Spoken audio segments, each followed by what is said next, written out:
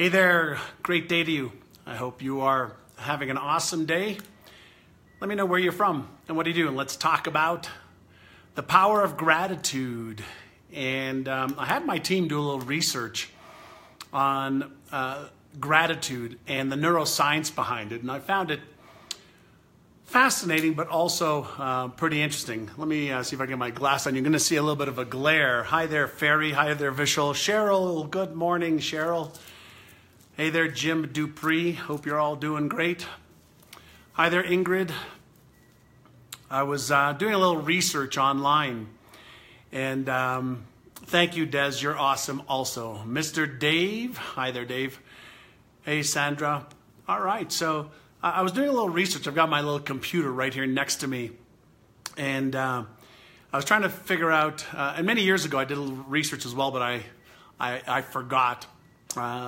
Uh, uh what I'm going to be talking about today is uh, some of my daily rituals. I've got a little innercise for you to do as well.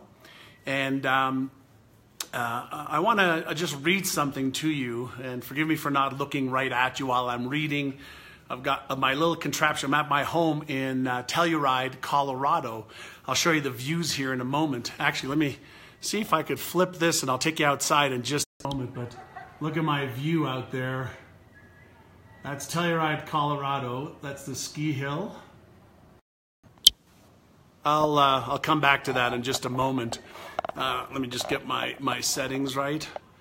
I'm on my cell phone with my computer here, and it's not easy uh, getting full on um, Wi Fi. So I'm so grateful. There's my first grateful uh, for this. But um, uh, apparently, back in 1621, when the Native American Indians and the Pilgrims got together, the Indians had a, uh, a ritual of being grateful for their harvests.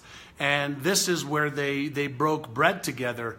But according to folklore and I guess legend and some fact, um, it wasn't uh, until many, many years later when President Abraham Lincoln established Thanksgiving uh, as a national holiday, and that was during the Civil War.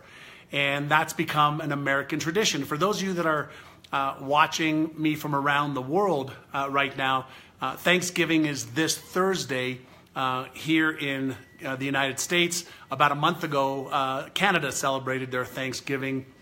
And so I'm always fascinated with you know, some of the cultural aspects of Thanksgiving uh, and being grateful.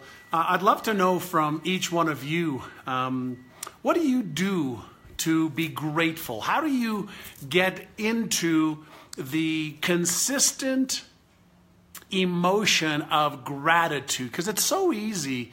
Uh, wouldn't you agree in today's day and age to get caught up in all the things that aren't working well? And sometimes it's hard to remember um, breathing is something to be grateful for. Every time you uh, breathe in, you're taking in 10 to the 22nd power uh, of hydrogen, oxygen, nitrogen, carbon, and other elements that then create your cells, your organs, your tissues, uh, your bones, and we are regenerating uh, all of our organs every five to seven years. Everything is been regenerated. I mean, that is something to be grateful for, the, the, the miracle of life, right? And so, um, Suzanne, every morning when your feet touch the floor, you're grateful. Well, you know what's interesting is a really dear friend of mine, Adam Markel. Uh, we were at, I think, lunch a few months ago, and he said every day when he wakes up, as soon as his eyes open and he swings his legs across the bed, he said, he feels grateful for being alive. And he reminds himself that somebody, probably close to him, didn't wake up that morning, and he did. So, one of his morning rituals um, is being grateful for being awake and alive. And, and that's actually one of the rituals that I started doing uh, many years ago and that was to, to wake up with questions uh, that I'll share with you in just a moment on gratitude. Um, grateful to have drinking water. Uh, grateful, yeah, tell me what you're grateful for. Like, um, Hi there, Floor from Singapore, and Don Sierra and Joanna. Uh, Joanna from you know Being Alive. Hi, Maureen. Uh, and again, I'm coming to you from Telluride. Let me. You want me to show you a little uh, view before we really dive deep? And uh, hey, Shashin Shah. Hey, everybody, say hi to Shashin who just joined it. He's my uh, dear buddy here in Telluride, Colorado. And hi, Annette from Israel. Uh, morning, evening ritual, Kelly. Uh, you write them down. Awesome, awesome, awesome. Do you want me to take you outside for just a moment, show you a little bit of the beautiful mountains? Give me a second. Let me just unplug this. All right, come with me. I'll show you just a little tour. Uh, this is our uh, uh, mountain condo. It's a three bedroom um, place up in the mountain, and this is our just my, there's our little sitting area there in our living room, and I've got a nice little fire going. It's 10 o'clock in the morning, but wait till you see this. Let me let me take you outside. Are you ready? All right, it's a little sunny right now. They're making snow too, so take a look at this. I am grateful for this right now. Look at this beautiful day in Colorado. This is the San Juan mountain range, and they're trying to make some snow right over there, in the gondola is right there to go into town where my friend Shashin lives. Um, there's some beautiful mountains all the way up there where we ski. You can see some of the runs. You'll see a few runs here, but this is Colorado. This is the uh, New Mountain Village here. Anyway, so for those of you that are from around the world, now you got a chance to see a little bit of, oh, hold on one second. See all the way down there, I can't zoom it, but all the way down there, there's a peak, like right there. That's called Wilson Mesa. That's about 15,000 feet above sea level. It's a beautiful, beautiful mountain. And unfortunately, they uh, they closed this back around.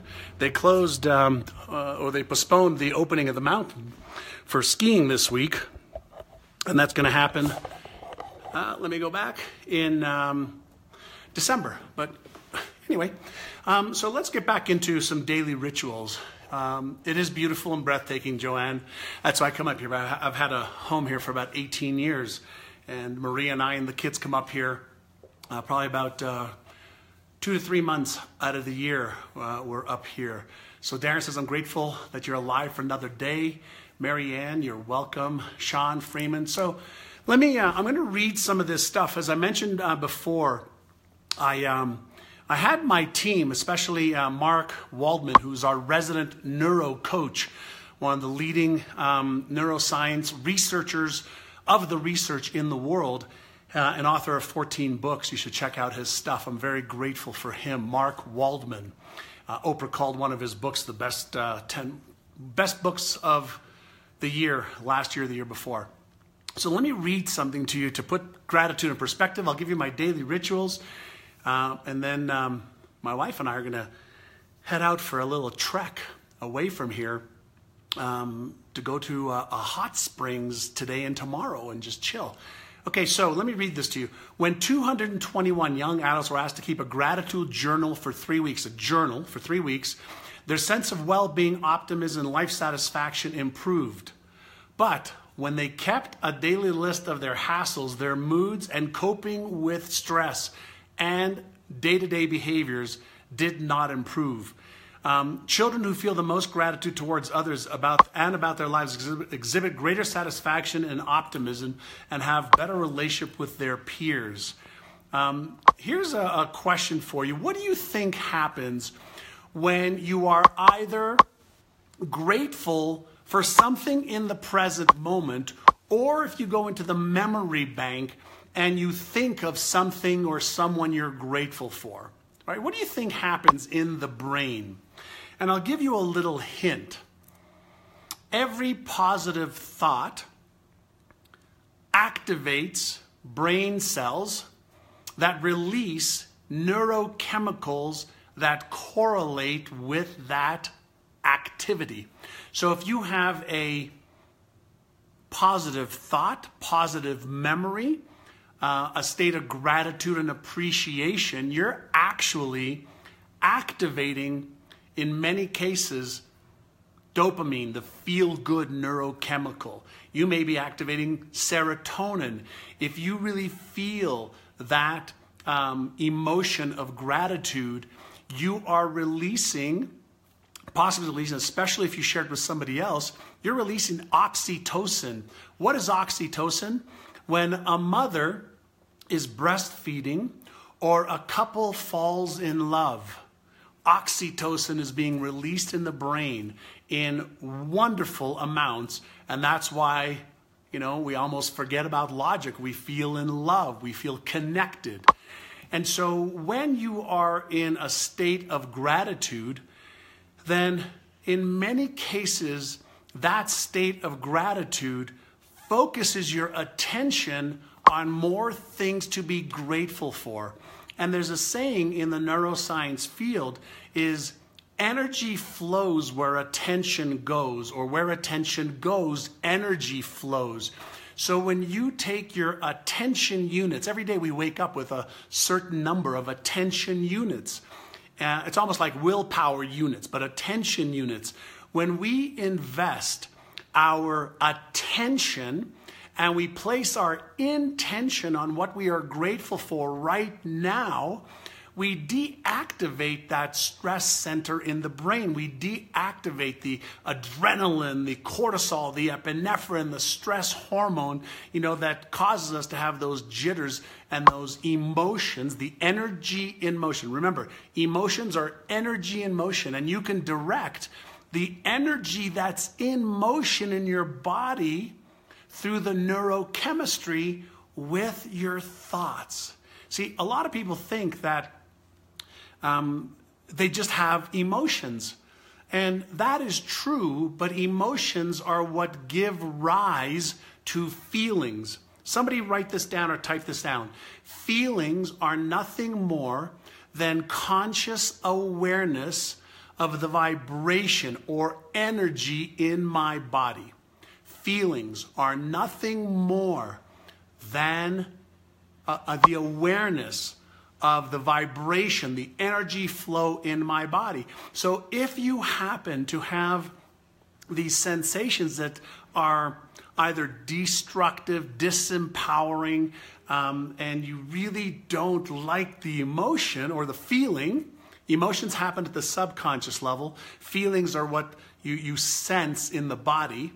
And so when you are aware of emotions, um, you can learn how to switch them. And one of the best ways to switch emotions, by the way, if you're enjoying this, do me a favor, hit the share button. Let's get some more people to be grateful, uh, especially on this Thanksgiving week.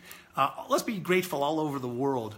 Um, and so the, the idea of being grateful deliberately is also a part of deliberate conscious evolution of yourself. Let me repeat that deliberate conscious evolution of yourself. What if through practice you could learn how to deliberately be in a state of gratitude even when things aren't going your way?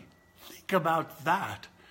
What if you could be in a state of gratitude even when things aren't going your way? Can you learn how to be in gratitude of the emotion of the result because it's going to help you grow and develop.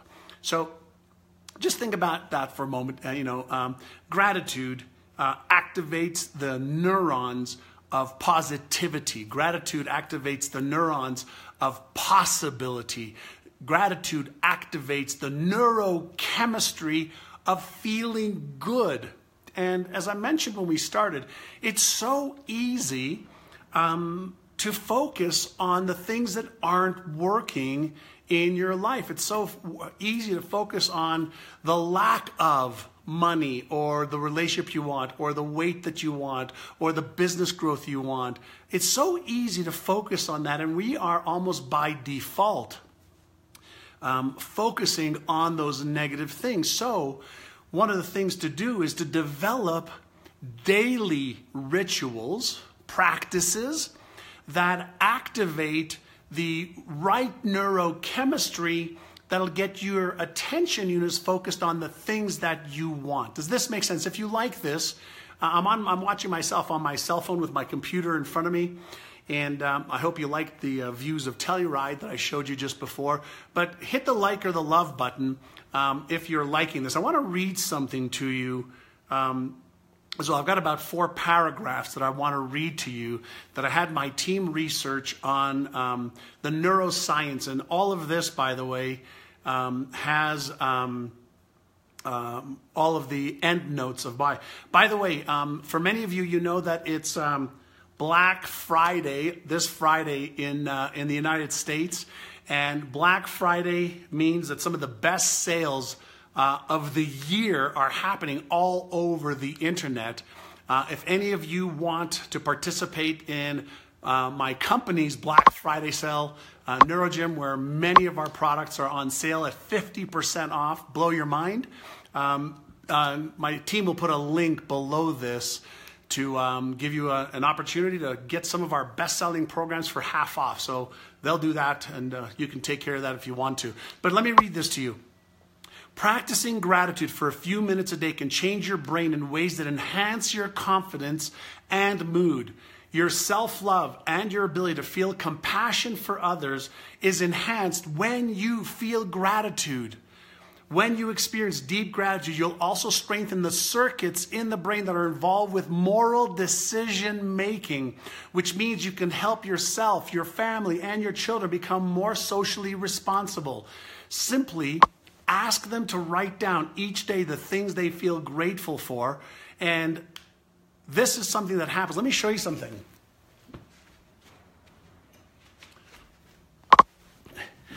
This over here, believe it or not, is my gratitude coin that I had created.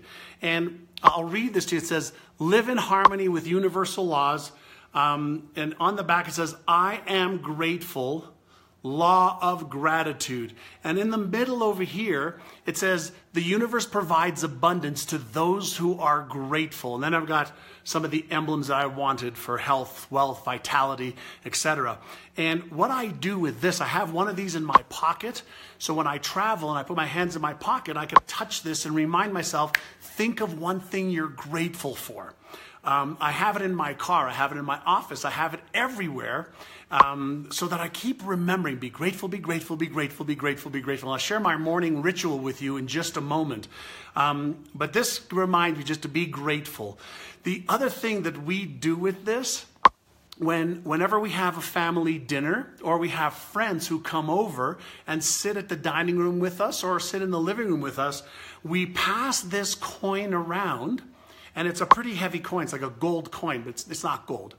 Um, when we have um, uh, friends over, then what we do is we pass this coin around and we ask everybody to share what's one thing that you are grateful for. And everybody goes around the table before dinner and during dinner. And guess what will happen? This little coin starts to activate everybody's gratitude neuro muscles. All right, so that's one of the tools that we use, or one of the tricks that I use, is just to constantly stay in a state of gratitude. Um, let me share with you a couple other notes that I, I mentioned to you. Um, and this is all neuroscience based, and um, uh, and so my team did a, a, whole bunch of research on this. So this is not you know hypothetical. This is not uh, airy fairy woo woo stuff. This is real neuroscience of gratitude. And then right after I share with you a couple of these, um, by the way, if you just joined, we're talking about gratitude uh, I'm here in my home in Telluride, Colorado, and um, I was hoping to ski, but the ski hill doesn't um, open now. It's supposed to open up uh, Thursday, but now it's opening up in December because we don't have enough snow, so it's nice and sunny. It's about 50 degrees right now. So let me share with you some uh, something over here. Uh, and this is all around gratitude, being able to change um, your work life and your relationship to money. Researchers found that business people who practiced gratitude showed more patience, experienced greater happiness, and were less materialistic than those who didn't spend time counting their blessings on a daily basis. Um, if you create a ritual of writing letters expressing gratitude, especially if you are feeling anxious, depressed, or stressed out, you'll strengthen those parts of your brain that give you the power to improve your behavior and change your habits. And will help you achieve your goals. So, gratitude has been shown to help business owners as well. The other thing gratitude has shown, uh, and again, this is scientifically based research, um, in that's people who practice gratitude are healthier, happier, more effective, and more resilient. All the things you need for success. They report better physical and psychological health. They engage in more healthy activities and they are more willing to seek the help of others. They're more willing to help others. Um, when children and adolescents practice gratitudes, their grades go up, their stress goes down, family relationships improve, and high risk behaviors decline. The other thing it says spiritual resilience goes up. Okay, so I have a little um, innercise, I call them, and most of you know that uh, my new book comes out in 2018 called Innercise, The New Science to Unlock Your Brain's Hidden Power. And one of the innercises that I want you to be aware of, and right after this, I'll show you um, my daily uh, AM and PM gratitude rituals, and then um, I'll let you go off and enjoy your day. And if you like this, hit the share button. Let's get more people on the gratitude bandwagon. All right, so um, if you take out a sheet of paper and you write down uh, one negative uh, feeling, thought, or emotion that you are struggling with. So you take out a sheet of paper, you take one negative feeling, thought, or emotion that you are struggling with. Then write down three things that you are grateful for. And the more you write, the more you're going to feel the negativity melt away. And by contrast, when you have something that uh, you're struggling with, and your focus is on that struggle, you're actually releasing the neurochemistry of struggle. You're releasing the neurochemistry and sometimes of negativity. But when you switch, flip the switch, okay, from negativity or a disempowering emotion that you're struggling with, and you convert, you flip the switch in your brain to something positive, something you're grateful for, you're actually going to enhance all of the neurochemistry of gratitude. You're going to enhance the positivity circuits. And what you can also do is when you take a look, okay, at what you wrote down, the thought, the emotion, or the result that you don't like and that's causing you to use up your attention units, and you do something called mental contrasting, where you look at it on a piece of paper, get it out of your head, put it on a piece of paper. When you look at it, and then close your eyes and see yourself releasing it and moving yourself towards the vision, the goal, the emotion, the gratitude that you want, you're actually teaching your brain how to overcome, release, let go of anything that's negative in your mind and through your and that's being expressed through your emotions. Does that make sense?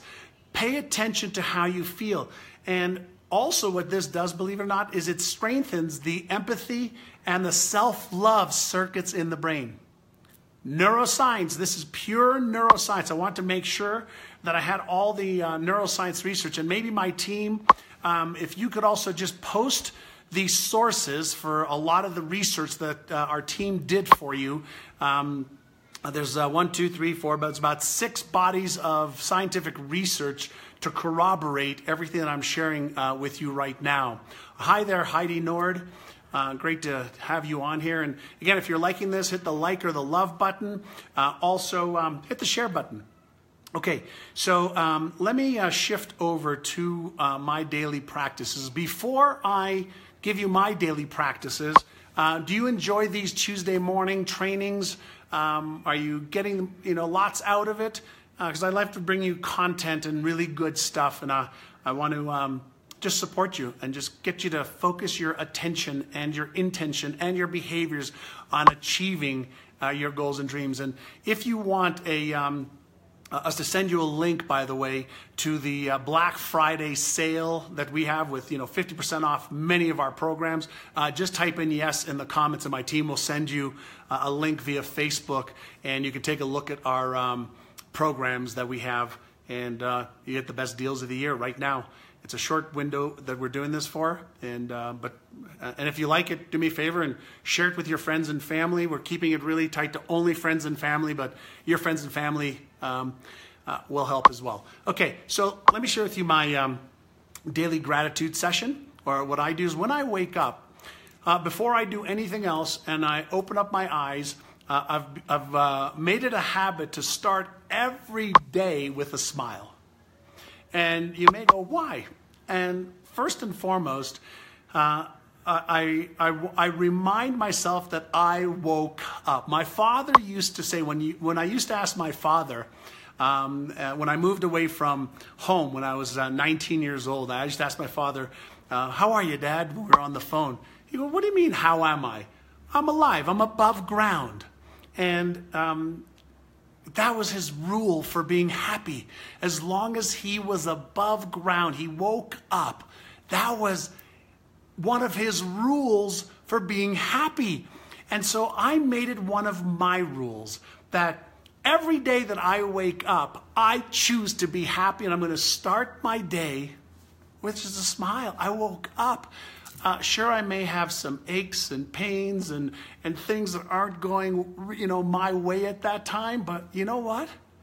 Every flipping day that I wake up, I'm grateful. So I start off with that. And I remind myself, not all the time, you know, that there's probably millions of people that would trade whatever they're experiencing in their life right now for my life. Um, and no matter how bad your life is in certain areas, or uh, not even bad, but no matter how hard your life is in certain areas, there's somebody who will trade your worst life for theirs, right? And so remind yourself of how grateful you are, uh, even when times aren't, you know, to your taste, aren't, you know, going your way. You know, the winds are knocking you around. What can you be grateful for? And what about you woke up?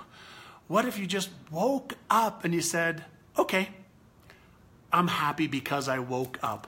And so I do a body scan um, as well when I lay in bed. You know, I just, you know, I'm thankful. I, I, um, I like to be grateful and I look at, you know, what am I grateful for? And these are the questions I ask myself as I'm laying in bed.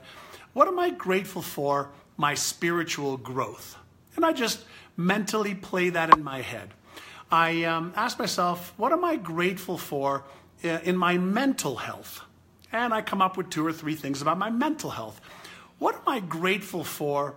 Um, uh, for uh, my emotions, having emotions, happiness, sadness, shame, guilt, uh, disgust, uh, anger. Um, wow, I've got this uh, orchestra of emotions that I can sense and feel what's happening within me and outside. Wow, that's pretty powerful. Um, so spiritual, emotional, mental, and then physical. What am I grateful for um, with my physical body? Uh, God, I have fingers and hands that work. Um, I've got a voice. I've got eyes that I see through. I've got senses. I've got a body that can walk. I've got a mouth, ears, a nose. Uh, I've got, you know, a hundred a billion, a hundred trillion cells in my body working its magic, regenerating 10 million new cells every minute while 10 million die off. Oh my God. Wow. And so, uh, what am I grateful for about my work? What am I grateful for about my family? What about, am I grateful for my kids? What am I? I just play two, three, four minutes of what I'm grateful for before I put my feet on the ground. And so that's my daily gratitude in the morning. And uh, I just I just started off that way. That's part of a ritual that I know when I do that, I feel freaking great. And I want to feel great. So why not start off with an innercise that allows me to feel great? I can deal with all the other stuff after that. I'm grateful for water, hot water, cold water, uh, food, the people who plant and pick. There's so many things to be grateful if you just take the time to be aware. Because it's so easy to go down the rabbit hole of what isn't working. Um, and guess what? When you're in a state of gratitude for what you have, you'll have more energy to focus on fixing, correcting, making better some of the things that, you know, aren't working exactly to your taste right now. And then uh, during the day, I look for, you know, things I do, um, mindfulness practices of just things, you know, whether I'm grateful for the fire, the trees, the mountain, the snow, the sun. I look for things throughout the entire day um, to be grateful for, even the lessons during the times that are not right for me. Uh, or not my, to my taste, or not working out. I'm like, I'm grateful for the lesson that I'm not aware, aware of yet. So there's always a way to frame things in a way that empowers you versus disempowering you. And this is one of the neuroscience tricks um, of framing, looking at things in a way that will empower you, inspire you, move you forward, even though it may not be to your taste. This is a skill that you can learn like tennis or chess or music. It's a skill you learn of how to direct your attention and so when you are grateful, you find more things to be grateful for. And so then in the evening, I'm going to wrap this up. Then in the evening, um, I ask myself, what am I grateful for about the day? And I just go through a two or three minute checklist in my mind, and I go to sleep with a smile on because I focus on the stuff that I'm grateful for. I also give my brain the instruction to come up with solutions to the stuff that's not working in my life right now. And then I let my subconscious do the work while I'm sleeping. But I want to be focusing on what I'm grateful for and being in that positive mindset, that positive neurochemistry of gratitude and using my motivational circuits, my left prefrontal cortex, which will help me figure out how I can achieve my goals, versus what happens when I focus on things that aren't working and I uh, activate my right prefrontal cortex and deactivate the genius part of my brain. And so we've been covering the um, neuroscience of gratitude. I'm going to take you outside again for one last view of uh, what I've been looking at while I've been doing this. So I'm grateful for this beautiful day in Telluride, Colorado. I'm here with my wife on a little bit of a vacation for uh, 10 days and I hope you have an awesome day. Whoops, go this way. And I will just say, all right, so if you enjoyed this, hit the uh, like or the love button, hit the share button. Let's get the uh, the world, um, you know, focused on gratitude.